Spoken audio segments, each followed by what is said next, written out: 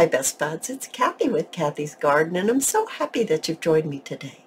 Today we're going to be using those beautiful vintage clusters that we made yesterday together. And I've made three pieces of ephemera already and we're going to make two more together. But first let's have our shout out to Lena, Willow, Patty, Doris, and Darlene. I appreciate each and every one of you. Let's take a closer look. So here is one that's placed on the flap of a book page pocket. So there's the pocket right there. And it, this is the flap. And it just comes down just like that.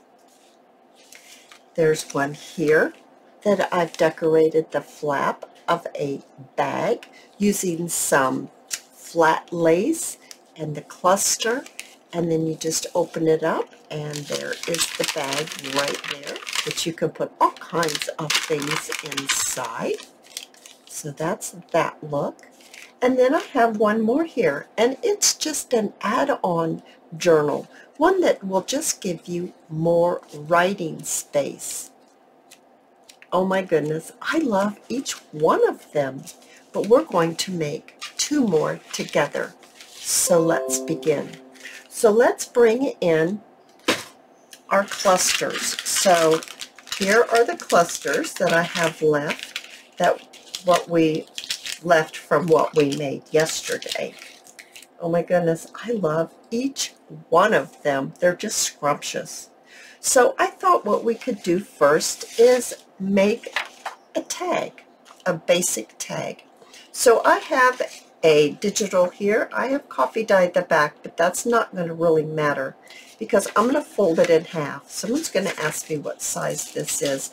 This is about five inches by seven and a half. And I'm going to fold it in half, just like this.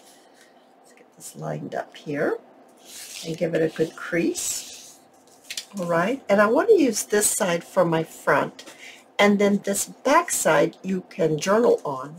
So I'm going to cut it into a tag shape. So I'm simply going to get my larger scissors. Those are not my large ones. Oh, they're over here in a drawer. Oh my goodness. here we go.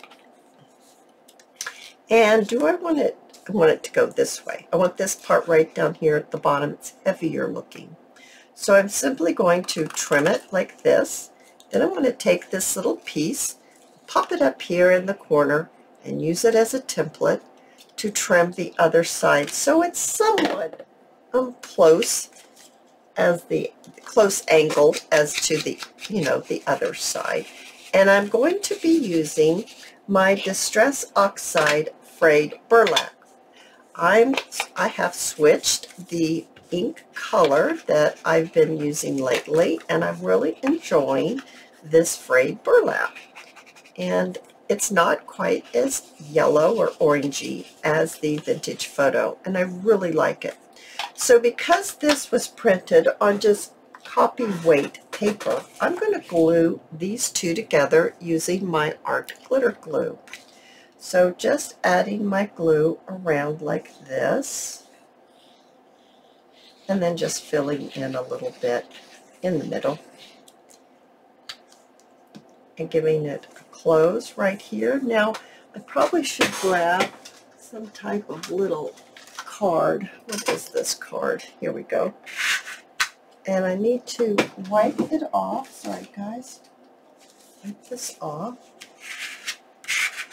And what that does is it just smooths out your glue so you're not having any bumps in there, lumps and bumps of the glue. Now this is going to be the front. Now which one's going to be pretty on this one? I'm kind of thinking maybe the green one. There's this small green one.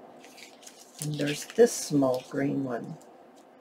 Oh, I kind of like that one on there. I think that one is going to be beautiful. Now, let me grab some Sari Silk and let me grab my hot glue gun and we will finish decorating this one together.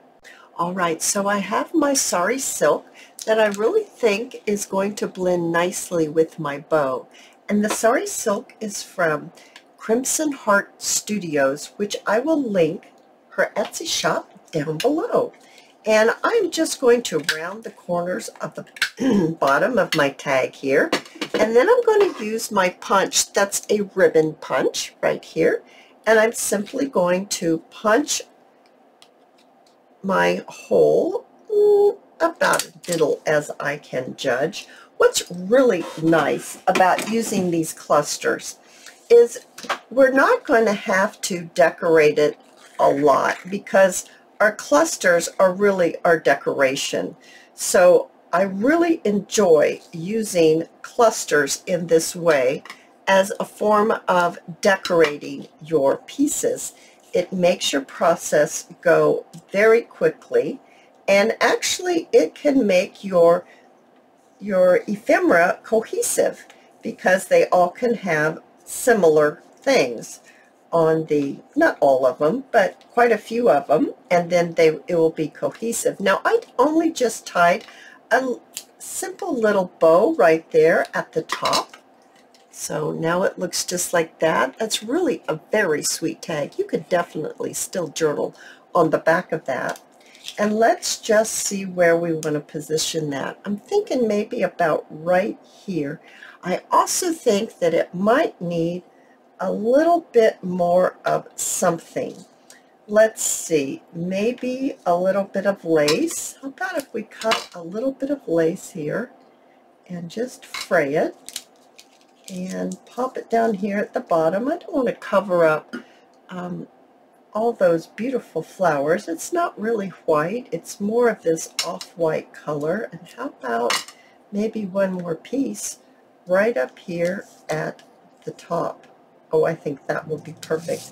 So let's go ahead and let's glue this one right down here. So just looking to see, I think it goes this way. And I'm just going to pop it down right here. And then this can go right here. And so that means this part, it can go about right there will be just fine. So I'm just going to add my glue and pop this on just like that. And then pop this right on top. Oh, that's going to be just perfect. I'm using hot glue because it's quick and easy and it's really great for making videos because I can just keep going and not have to wait for the glue to dry. Now wasn't that quick and easy and how cute is that, right? Now I'd like to make another piece. Actually, we're going to make two more. We're going to make an envelope and decorate the outside of the envelope. So I have a piece of coffee dyed copy paper and I've cut it to be eight and a half by eight and a half. You're going to need a square and you're going to need to mark the center of your square by simply taking your ruler and placing your ruler at the point and to the other point and taking your pencil and making a line and then taking your ruler and making it from point to point and then making a line. And where those lines intersect at that point, we're simply going to fold it and crease it. And then the opposite side, and you're going to put tip, to tip, right here, point to point, crease it, and then we're going to pull it up. Now, when I pull it up, I'm going to place this point and this point on one of my lines, and then I'm going to pull this up and I'm going to have it come up this point right here a half an inch on either side. So I'm using my grid marks so that I can not have a wonky envelope. And we can simply turn this down right here. We can turn it back on itself like that. So that's looking more like an envelope, isn't it? And I do need to erase the inside marks that I have made here. So erasing them. And then what I want to do is there is like a triangle shape. So I think I'm going to try to uh, show you by marking it here, which I'm going to mark with my my ink sponge anyway, because I love to mark the folds of my envelope. All right, so now I do believe you'll be able to see that little triangle right there. And that little triangle we're going to need to trim out. And I like to trim it out past the mark of the that we made with our ink. So you can actually see, still see the line where I made it. So I made this a little larger. And I'm going to do the exact same thing over here, cutting it a little larger than the mark, just like that. And then we're going to need to make a flap. So putting it back together and then turning it, lining the bottom onto a grid mark and trying to hold it steady. And then bending this just like we did the bottom.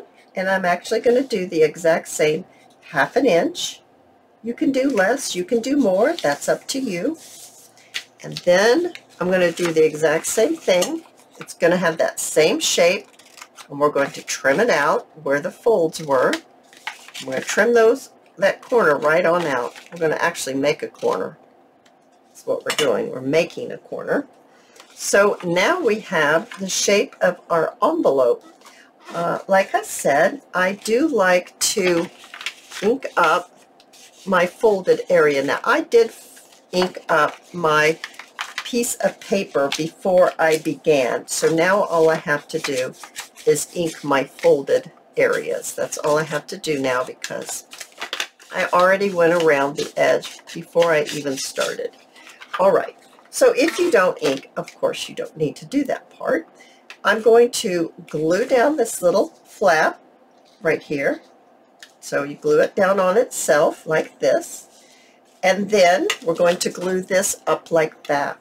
So I'm simply going to use the bottom and I'm going to just add a little bit of glue on each side right till you get to that folded area. And then simply fold it up catching those two pieces that we pulled in. So now you have yourself a beautiful envelope. And it wasn't hard at all guys. And you don't need a special machine. So now we have our beautiful envelope. And let's see what can we do for the front? Let's bring all of these back in and let's see how can we decorate this. That's really pretty on there. I've Got this one. That one's nice. Just looking to see which one I think I really like the best. We could also use it on the back instead of the front. It, you know, however you want to decorate is perfectly fine. You know what? I just looked at this one and I thought, well, the postage emblem is over here. But on this one, the postage emblem is up here. We could do something like this. It doesn't matter. Either one. Sorry, guys. I still have, oh, I like that one. I still have that cough. Last night I had a coughing fit. Oh, my goodness. Yeah. Oh, that was something else. But anyway, enough of that. So what I want to do is I want to just decorate this up a little bit. I'm not sure. I think I want some more stamping. So I'm going to actually bring my big old basket here up. And I'm going to get this out. And I'm going to get my StazOn out. And I'm actually going to get my swirly whirly stamp. At least that's what I call it and this, and let's start with that and see what we can come up with here now. I'm going to use my uh, swirly stamp. I've had it for years, you guys, and I don't know where I got it from. I don't even have a clue. Don't have a clue in the world, and I don't know what it's called. I'm one of those that, oh, I don't save my packages. I don't put them back in my packages. I'm very bad about that um, when I start creating and I get going, I don't do all that stuff like you probably should. Put it all back together. I just keep crafting. And so thus, I don't really know where anything comes from. All right, maybe something like that. ooh, that's pretty. Um, I'm thinking I want a little bit more right down here. And um, here. And then I'm going to do a little bit on the back side as well. So maybe something like that. And it, you know, I like the fact that it's not perfect. It's not, um, the stamp is not perfect as far as, you know, catching all the, the shapes of the stamp. I like the fact that it's just getting a little bit of it. That's just something that I really enjoy. I enjoy it not being perfect. So if you, you know, have trouble getting things to be perfect, I kind of think it's prettier when it's not perfect. So now what I want to do is, we chose peach. I really thought we were going to choose pink because uh, I have a pink one here. So let me see. These are the two pink ones. I really did think I was choosing pink. oh, I got to wipe that up right there, don't I, guys? Here we go. All right, let's look again and see. Since I already have this out, would pink work better? Just seeing what's happening here. Well, that's not bad. That looks pretty. All right, because I have my pink here, so I think it would be a little easier to maybe finish decorating this a little bit. Now, I think I want to bring in a little bit of net so let me grab that real quick. All right, after standing up, getting my net, which I have right here, I think I need a little bit of something else going on here. So I've grabbed my large script here, and this is Stampabilities, and it's the faded text background. I do believe it is still offered. And I'm going to ink this up right here. So just getting this inked up. And I think it'll be easier if I actually just do the whole thing, even though I'm going to cover it up. Oh yeah, I like that a lot better. I think it needed a little more going on. Mm -hmm. Oh, yes. Here, let me show you. Yeah, I like that a lot better. So I'm going to do the back as well. I'm going to pick it up so it doesn't make that noise on my glass. And just ink that up. I want this inside done too. And as you can see, I didn't re-ink it when I stamped it again, I just let it catch was already on my ink pad, or my stamp pad, I should say. Oh, yes. I like that so much better. Um, it's not really grungy looking, but it definitely has, I'm not sure what to say about it, but I just like it better. I'm going to wipe this up, and I'm looking for my thing, and I don't find it. Let me wipe it up real quick, all this ink here. All right, I'm looking at the back here, and what I want to do is place a little bit of this trim, but I want some net to be underneath it, maybe something like this. And it's not straight, I put it at an angle, and I'm simply going to open up my envelope well, I need a little bit more glue stick here. I need to add my glue right here on the edge, like that, and then lay my net down. I'm going to turn it over and use my glass mat to help get it glued down.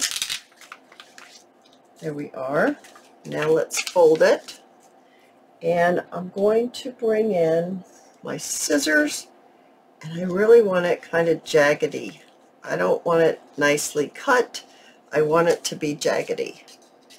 And I'm just going to cut this here like this, and then I'm going to cut this edge because it's hanging over my envelope, and I don't want it to do that.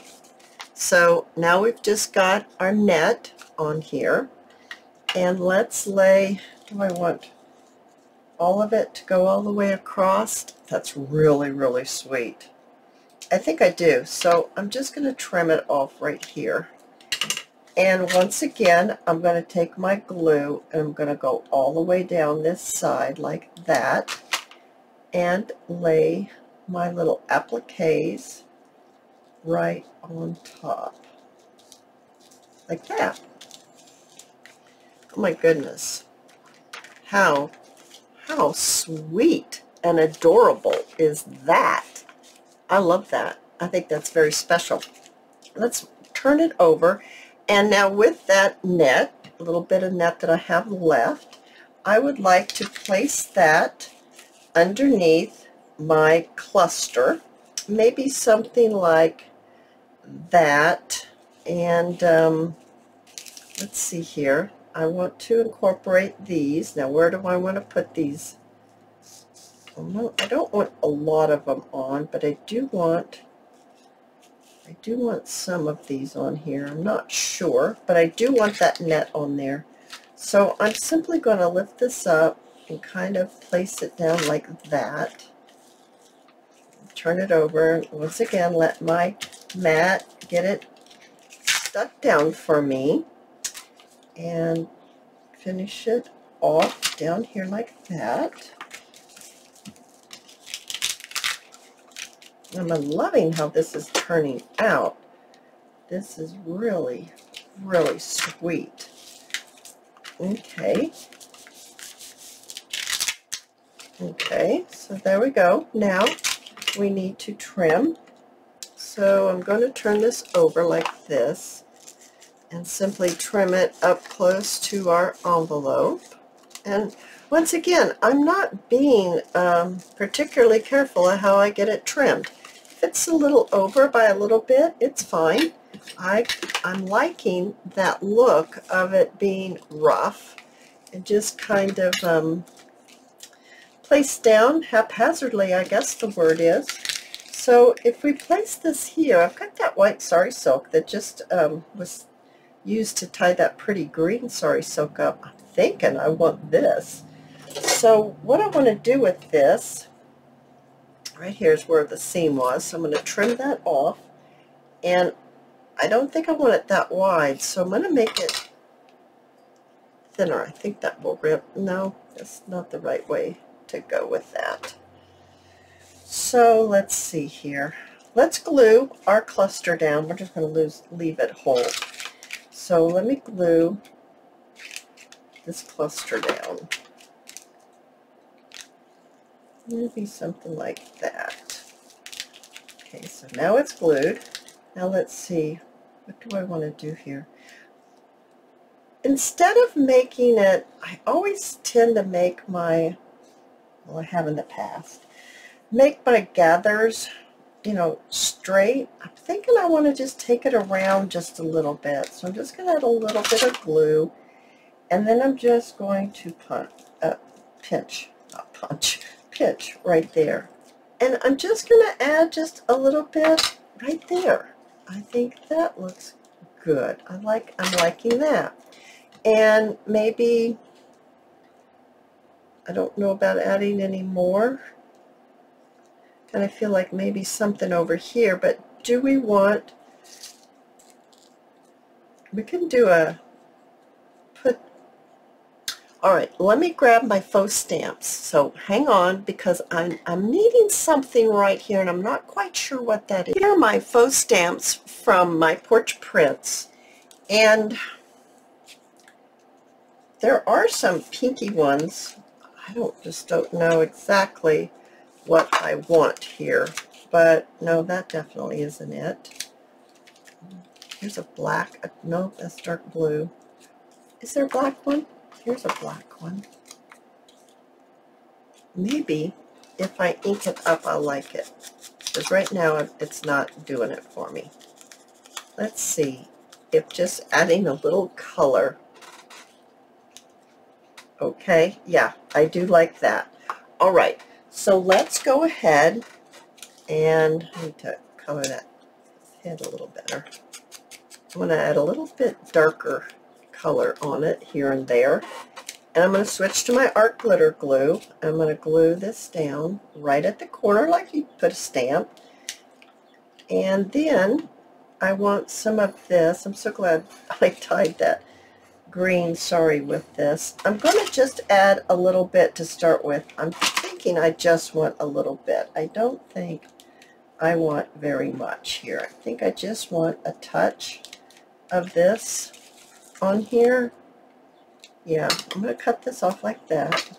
Oh yeah, I like that. Now, I did say I wanted a little bit of this, and maybe just a couple of them right down here at the bottom is all I'm going to need. Now, I don't need to add any more bling because my cluster has all those pearls on it.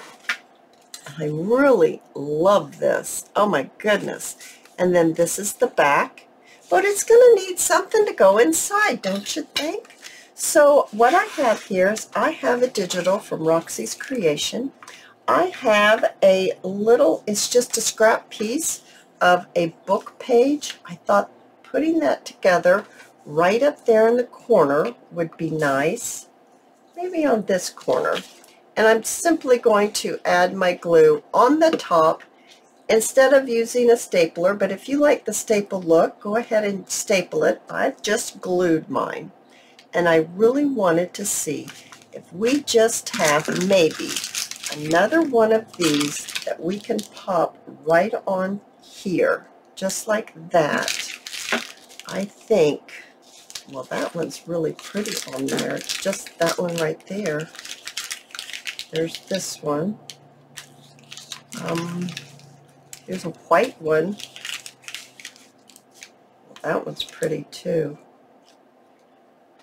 I kind of like that white one. All right, let's use the white one. And now, now I need to decide, do I want to make it so all of this can be lifted up and just glue the top part so you can lift it like this? Sure, why not? instead of gluing the whole thing down, I'll just add a little bit right here. I'm going to pull it down so you can see the jaggedness of the coffee dyed tracing paper there at the top. And so that's all glued down. Now we need to fold it to fit into our envelope. So, oh, it's going to be perfect. This envelope ends up being, what is that, five inches. So if I fold this at uh, even four and a half. And I'm just going to crease it right here like this. And then I'm going to even it up just a little bit. I creased it a little crooked. Because there's that cluster inside.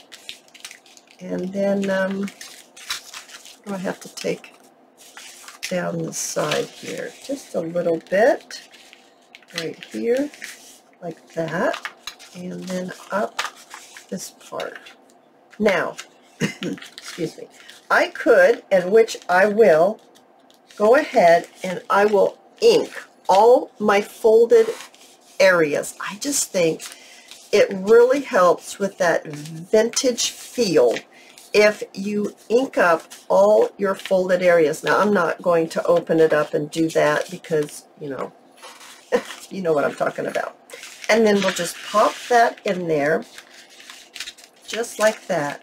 So if you put this in your journal and you put it in a pocket or you clip it on with a paper clip and then you whoever gets to it they look at it and then they turn it over oh my goodness it's so beautiful.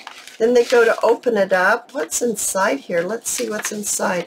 And then we have this. Oh my goodness you talk about a lovely vintage feel to your uh, junk journal by adding a beautiful envelope like this. You guys, I hope that you have enjoyed all the different ways in which you can use the clusters that we've been working on If you've enjoyed the video, please give me a thumbs up. I invite you to subscribe to my channel, and I'll see you in my next video. I'll see you there, guys. Bye now.